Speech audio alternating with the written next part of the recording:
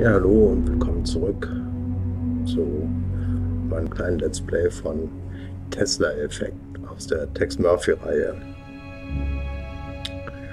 Äh, ja, ich äh, schaue auf den Bildschirm und erinnere mich an, an unseren Weg durch äh, der Weg in die Unterwelt ist also unser Aufnahme-Initiationsritual, der jetzt hier durch einige Räume mit einigen ähm, Rätseln führte.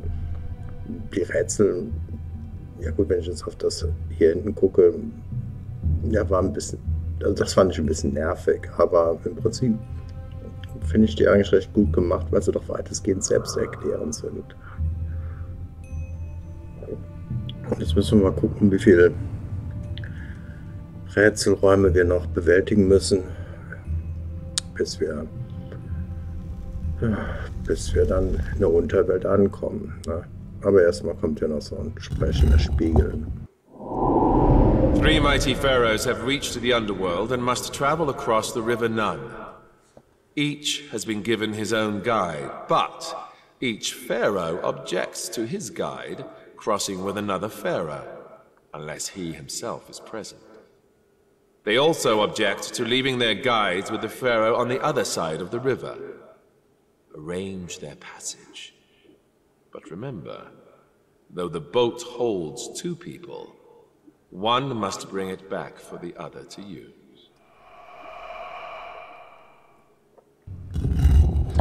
Ja, ich habe es jetzt nicht, nicht ganz verstanden, beziehungsweise nicht ganz mitlesen können, aber das Problem ist ja, dass das Rätsel ist jetzt so neu nicht, ne, mit diesem Fluss überqueren und äh, so zwei Plätze und einer muss zurückrudern.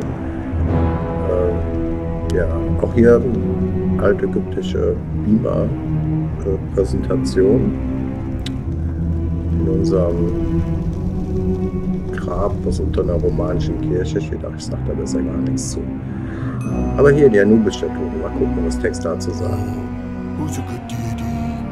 Ja, was für ein braver Gott. Nice doggy. Ein hübscher Hund. Ja, und hier ein hübsches Rätsel.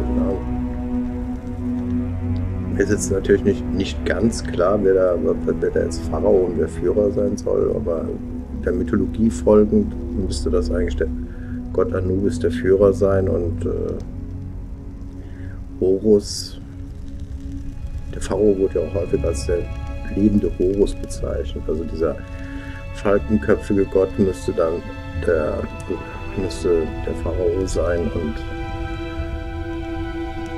der Schakalköpfige ist dann der Führer.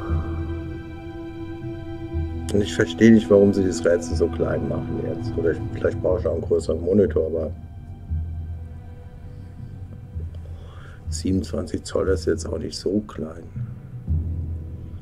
Gut. Aha, der geht rein. Der geht mit steigen beide aus. Muss er den Kollegen mal zurückschiffen. Der nimmt den. Ne?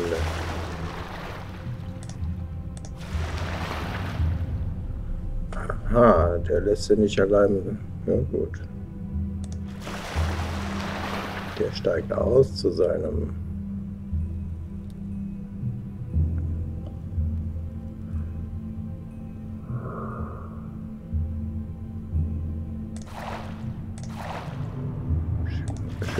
Finger drüber.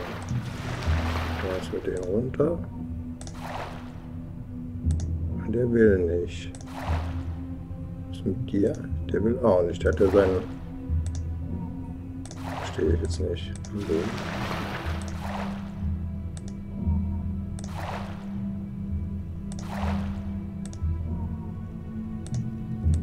Hm. Was ist mit dem ich jetzt gar nicht. Der kann. Der kann auch richtig.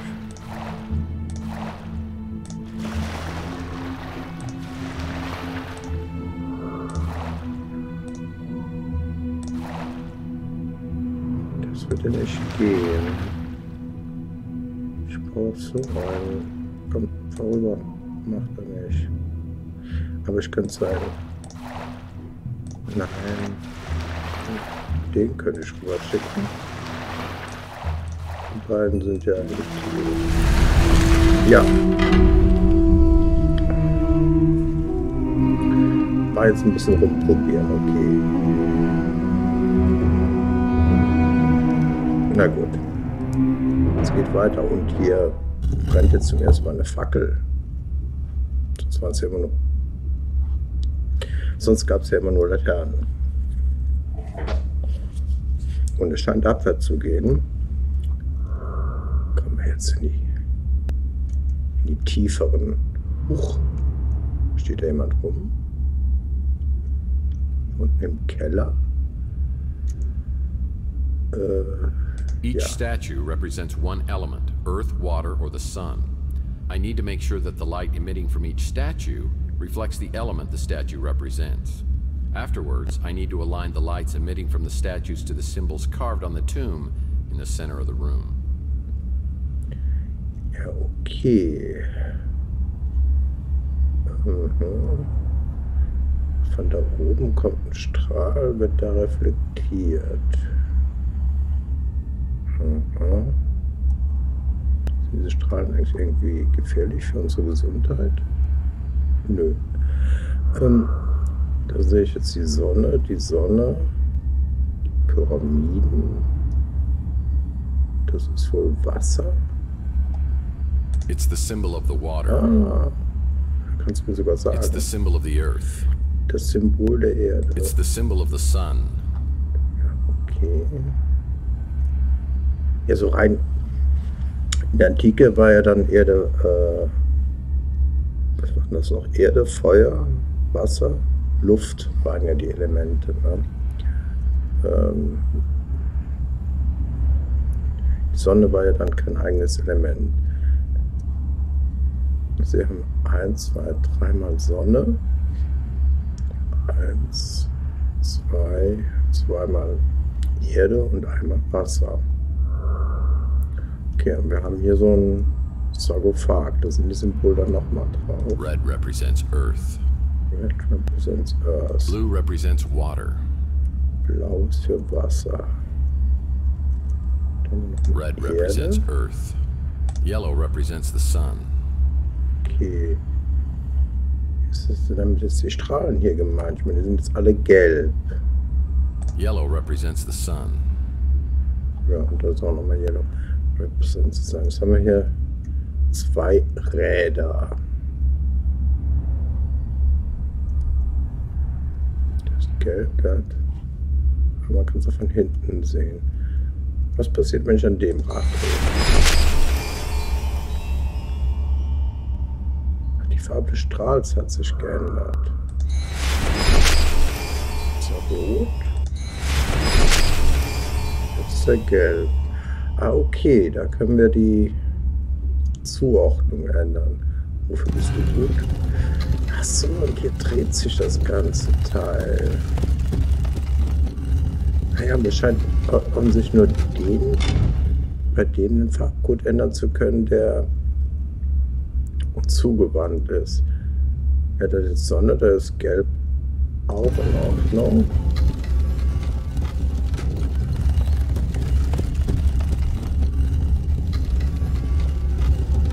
Jetzt Erde. So, was passiert hier? Wird blau. Wird rot. Rot repräsentiert Erde. So, dann lassen wir das mal so. Der nächste hat das Wassersymbol.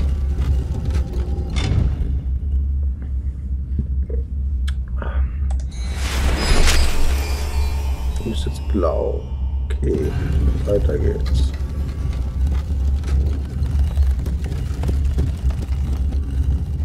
Erde. Okay.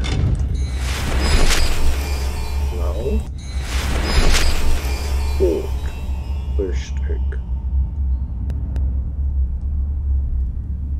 Ja, jetzt haben wir eigentlich alle umgestellt, ne?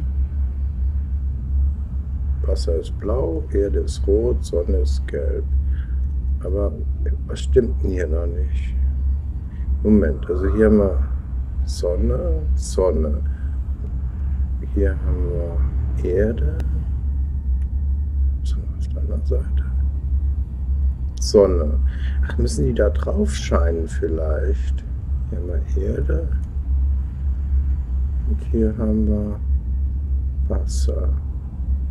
Ja gut, haben wir nur einmal Wasser haben, können wir uns ja daran relativ gut orientieren. Wasser muss dann, müsste dann auf den Punkt hier scheinen. The light is yellow. Ja. Das, das, das, das, sonst kriegen wir da keine Infos zu. Gucken wir mal. Links hinten die Ecke müsste, hier nehmen wir die Farbe, müsste blau werden.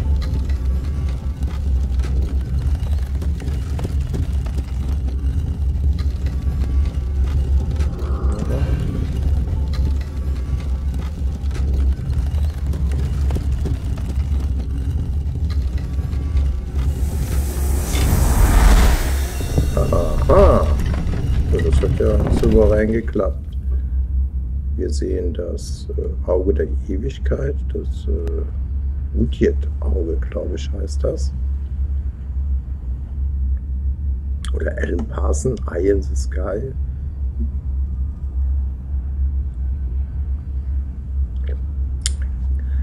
Kann das mir noch irgendwas sagen? Ich kann es da nicht mal anklicken. Was ist das hier? Da unten sehe ich so ein. Das sahen noch die ganzen Teppiche aus, wo wir uns da eben hingestellt haben. Haben wir hier noch irgendwas übersehen? Jetzt mal, für Spaß können wir da noch ein bisschen dran drehen. Nein, das geht nicht mehr. Fackel.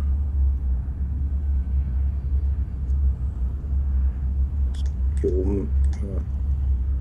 Each statue represents one element, earth, water, ja, ja, or the sun. Ich I need to make sure that the light emitting from each statue reflects the element the statue represents. Mache ich ja Afterwards, I need to align the lights emitting from the statues to the symbols carved on the tomb das in the center of the schön room. gemacht. Ne? So vom Design her. Ja, muss ich, also ich will nicht sagen, ja, irgendwie erinnert es natürlich schon an Stargate, also mich und äh, hat natürlich vom Design eigentlich nur die gemeinsamen Wurzeln, ne? äh, das Ägyptische, aber irgendwie muss ich jetzt an, an Stargate denken, ne? weil es ja so, schon so ein bisschen frei interpretiertes, äh, frei interpretier- interpretiertes ägyptisches ähm, Design ist. Na gut, müssen wir runter. Und wir haben uns nichts getan. Und es geht weiter runter. Kann man wieder hoch? Achso, das Auge dreht sich immer uns zu. Mhm, schön. Äh, kann das uns jetzt irgendwas sagen? Nein. Fackel. Ja, wir sind, willkommen in den Dungeons. Wir sind jetzt. Our highest praise is lavished upon you, the newest member of the aristocratic class. The Seisan is the lotus flower, a symbol of rebirth in Egyptian mythology. You will now undergo a period of mind conditioning for the next three months, where thought patterns will be restructured for complete obedience to our cause. After, you will become a pure disciple of Seisan, worthy of leadership in the new order.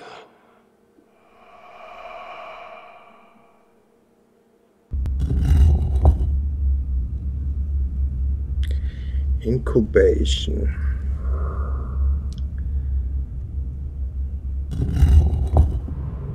Sind wir hier?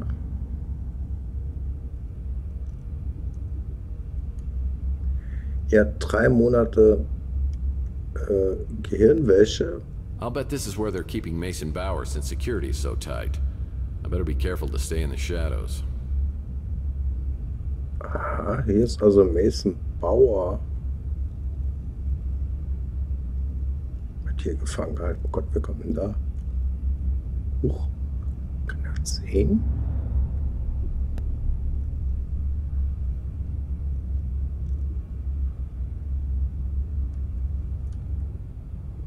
Jetzt geht er wieder weg. Da habe ich in den Schatten noch gesehen. So ein Kuttentyp.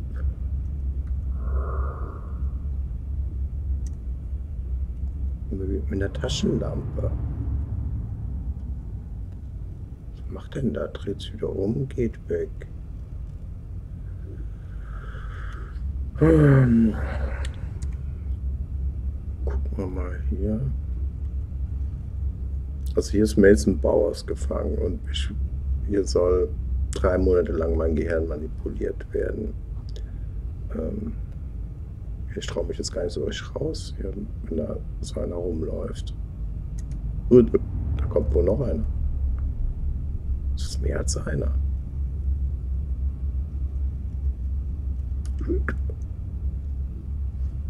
Luftanhalt.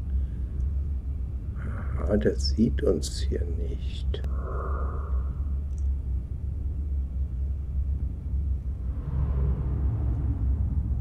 Vielleicht sieht er nur die Sachen, die in seinem Lichtkegel sind.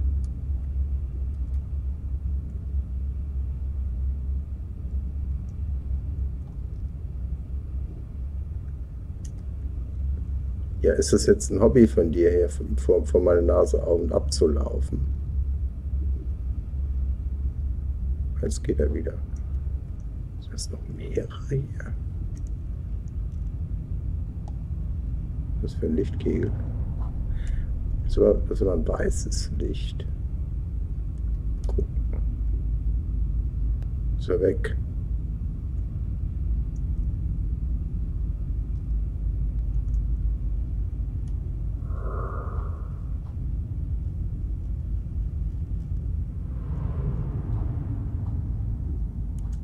Jetzt er wieder.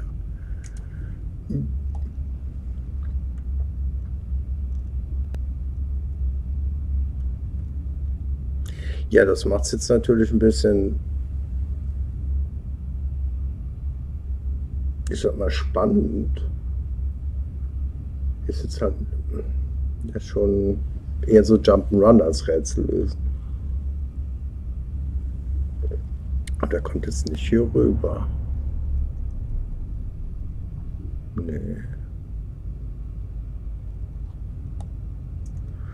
Schau, was denn das hier? Authority. Authority. Principal Authority 2. Was ist.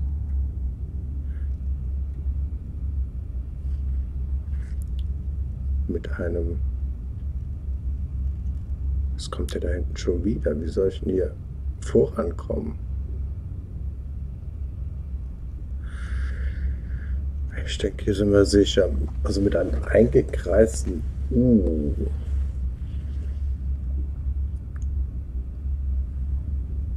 Hm.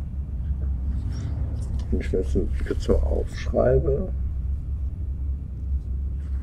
Zwei U. Also der Tipp geht mir da echt auf die Nerven. Wenn so ein bisschen bisschen bekloppt scheint er zu sein, so hin und her zu rennen. Der scheint offensichtlich die drei Monate schon hinter sich zu haben. Hm. Gut, ich, äh, ich denke, dass das lösen wir dann mal irgendwie in der nächsten Folge. Ne? Ich danke euch äh, fürs Zuschauen. Ich hoffe, es hat euch bis hierhin gefallen und äh, ja, bis zum nächsten. Ne? Tschüss.